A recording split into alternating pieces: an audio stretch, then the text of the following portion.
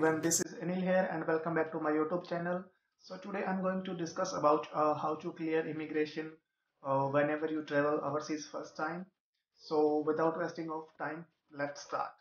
तो uh, आज मैं एक्सप्लेन करूँगा इस वीडियो में कि जब आप ट्रैवल uh, करते हो तो आपके माइंड uh, में ये क्वेश्चन रहता है नॉर्मली सभी के माइंड में कि uh, कैसे मैं कस्टम को फेस करूँगा कैसे मैं इमिग्रेशन को फेस करूँगा तो इस वीडियो में मैं आपको बताऊँगा कि क्या उसका प्रोसेस रहता है, क्या उसके क्वेश्चंस होते हैं जो आपको वो पुट कर सकते हैं?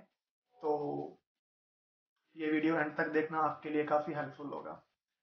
खासकर आप जब फ़र्स्ट टाइम ट्रैवल कर रहे हो ऑस्ट्रेलिया में तो अपने स्टार्टिंग से स्टार्ट करते हैं। जब आप जहाँ से भी फ़्लाइट लेते हो, दिल्ली एयरपोर्ट मुंबई, या जहाँ से भी आप फ़्लाइट लेते हो तो क्या है, जब आप एंटर करते हो तो वहाँ पे एक ऑफिसर होता है तो उसको आपका पासपोर्ट शो करना होता है। तो आपका भी पासपोर्ट एंड आपकी वो टिकट दे के आपको क्या है एंट्री देते हैं। तो आप उसके बाद जब अंदर आओगे एयरपोर्ट में एंटर करोगे तो आपको वहाँ पे आके चेक इन करना होता है आपका।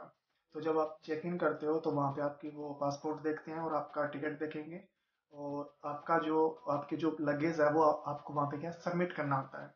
सिर्फ़ आप अपना कैबिन बैग और आपका जो लैपटॉप बैग होता है, वो आप कैरी कर सकते हो अपने साथ। और जो आपका अदर लगेज है, वो आपको जब आप चेक इन करते हो तो वहाँ पे आपको क्या सबमिट करना होता है।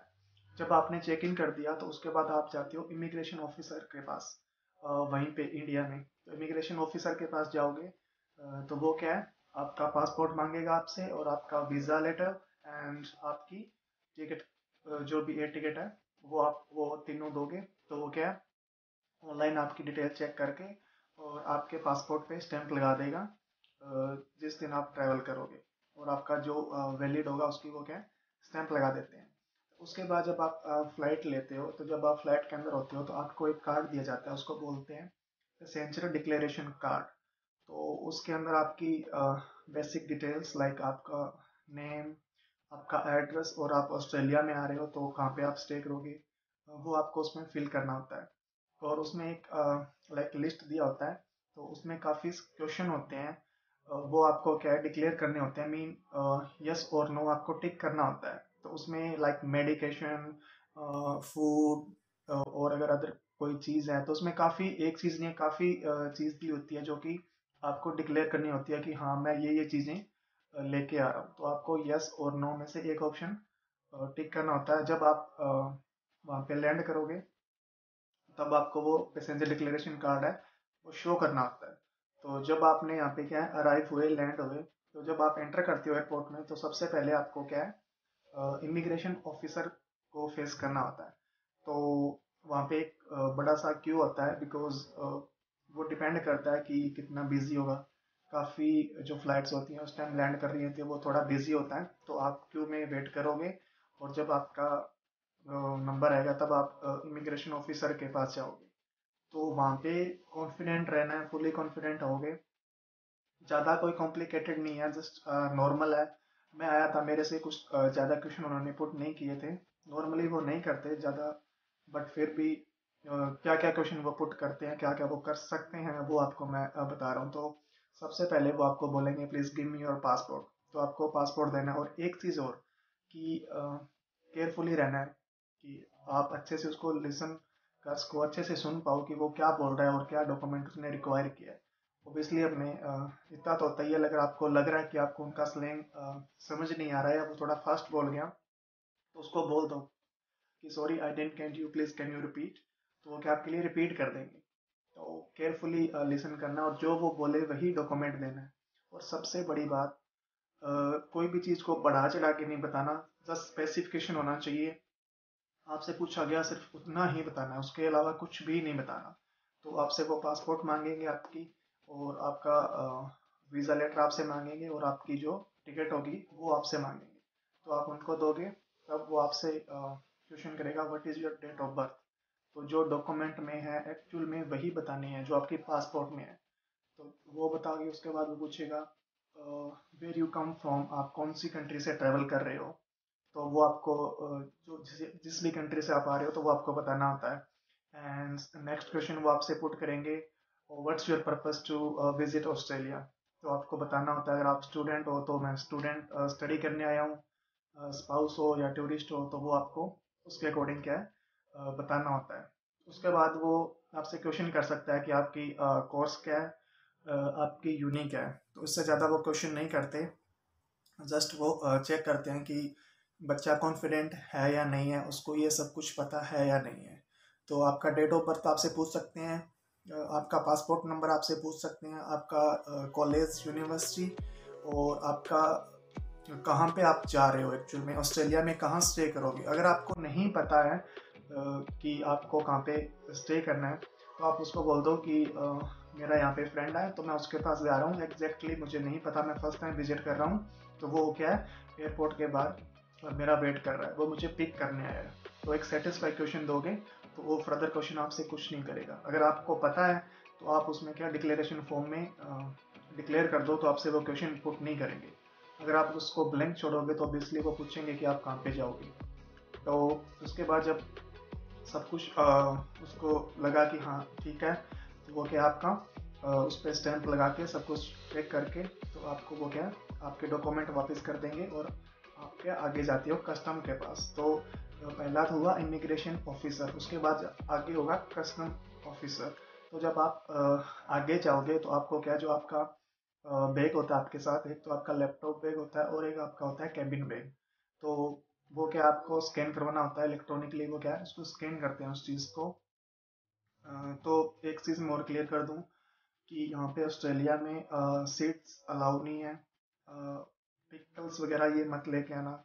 सॉइल ये वगैरह कुछ ऐसा मत लेके आना। प्रोहिबिटेड है।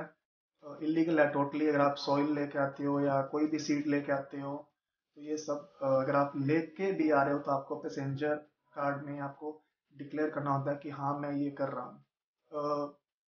ज़्यादा अवर स्मार्ट मत बनना, उसमें शो कर देना। आप अगर आप मेडिकेशन लेके आ रहे हो तो मेडिकेशन भी उसमें शो करना है कि हाँ मैं कैरी कर रहा हूँ। ये नहीं है कि हाँ मैंने मेरे बड़े बैग में छुपा के रखा है, कपड़ों के बीच में तो नहीं पता चलेगा।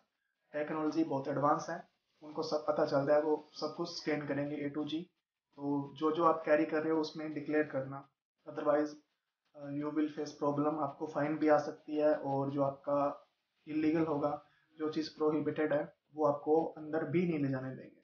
तो कस्टम ऑफ़िस के पास जाओगे तो आपको जो आपका कैबिन बैग होता है आपका लैपटॉप बैग होता है, उसमें से सारा सामान निकाल के आपको बकेट्स देंगे, उसमें रखना होता है और वो क्या है स्कैन करते हैं। देन uh, आप आगे जाओगे तो वहाँ पे क्या कस्टम ऑफ़िस ऑफिसर मिलेंगे आपको। तो वो क्या है?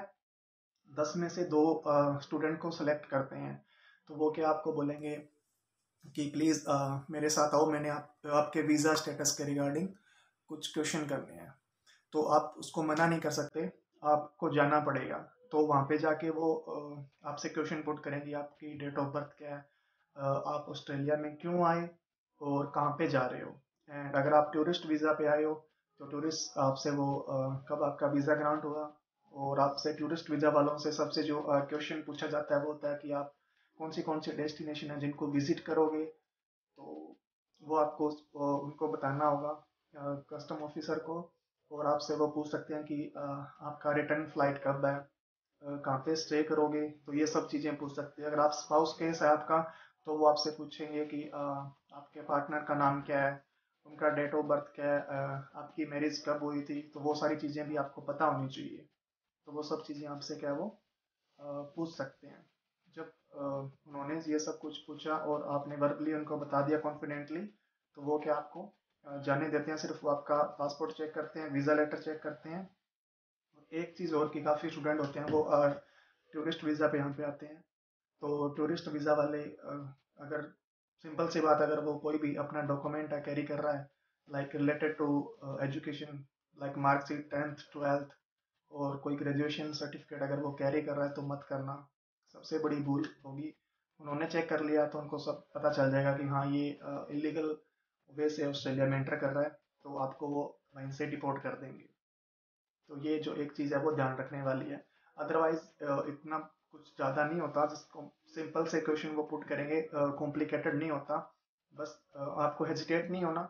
और जैसे जैसे अगर आपको पता भी नहीं है तो जैसे जैसे और स्टूडेंट जा रहे हैं, जिस क्यू में खड़े आप उधर उधर चलते जाइए। और आपको कस्टम ऑफिसर अगर रोकता है तो वो भी ज़्यादा क्वेश्चन पुट नहीं करेगा, वो तीन चार क्वेश्चन पुट करेगा। आपका वीज़ा स्टेटस कौन सी आपकी यूनी है, और आपका स्पाउस है तो तो मेरिट थे आपका स्पाउस नेम क्या है आपके साथ आया या क्या है, जो भी है, डिटेल होती है।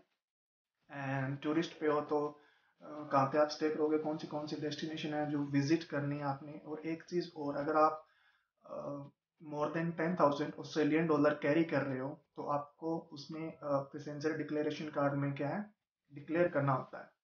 तो अगर आप उससे लेस कर रहे हो तो आपको वरी करने की कोई ज़रूरत नहीं है, वो इतना नहीं देखते।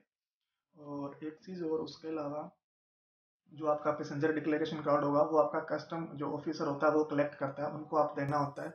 तो आप जब उनको दोगे अगर उसमें आपने जैसे मेडिकेशन आ, आप कैरी कर रहे हो अगर मेडिसिन आपने उसमें टिक नहीं किया तो आपका बैग ओपन करेंगे और उसमें जब सब कुछ चेक करेंगे तो वहाँ पे आपको फ़ाइन पड़ेगा। अच्छा वाला फ़ाइन देते हैं वो छोटा मोटा फ़ाइन नहीं है। और उसके अलावा वो चीज़ आपको ले जाने भी नहीं देंगे इंटर नहीं करने देंगे ऑस्ट्रेलिया में। तो वो आपको वहीं पे छोड़ के जाना पड़ेगा और आपको फाइन भी पे करना पड़ेगा।